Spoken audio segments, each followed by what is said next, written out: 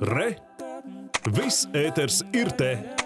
Nu, līdz šīm personām, kuras nespēja sekt savas parāda saistības, vienīgā iespēja no tām atbrīvoties bija maksāt nespējas pasludināšana. Jā, no šī gada fiziskām personām ir iespējams pilnībā dzēst salīdzinoši nelielas parāda saistības, proti līdz 5000 eiro, kas radušās ātro kredītu dēļ. Kā arī iespējams atbrīvoties no šādiem parādiem un cik aktīvi iedzīvotāji izmanto šo iespēju? Uldis Birziņš pastāstīs.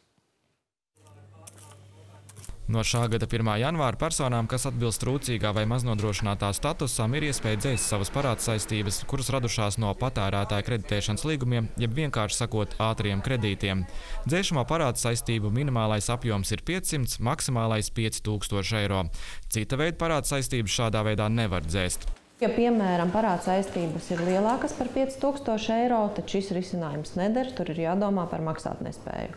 Vai otrs klasisks piemērs, nu, ja tās ir maksājumi par dzīvokli, komunālo parādu maksājumi, kas ir iekrājušies ar šo procedūru, šādus parādus arī nevarēs dzēst. Lai dzēstu parāda saistības, kas radušās no patērētāja kreditēšanas līgumiem, ir jāizpilda vairāki nosacījumi. Piemēram, parādnieka vidēji ienākumi mēnesī pēdējā gada laikā nesasniedz valstī noteikto minimālo mēneša darba algu. Vismaz trīs mēneši jābūt piešķirtam maznodrošinātā vai trūcīgā statusam. Parādniekam vismaz gadu jābūt Latvijas nodokļu maksātājam, vai arī mūsu valstī jāsaņem pabalsts vai pensija.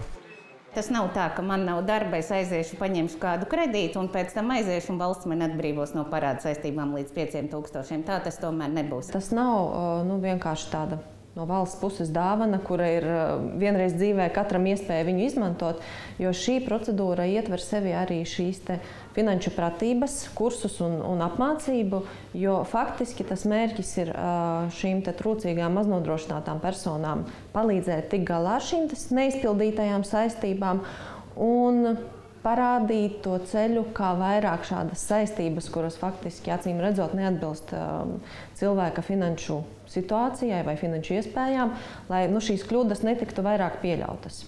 Lai gan interese par šo iespēju esot liela, pagaidām process esot uzsācis pavisam neliels cilvēku skaits. Iemesli ir vairāki, sākot ar to, ka likums ir jauns un beidzot ar parādnieku nevēlēšanos kaut ko darīt lietas labā.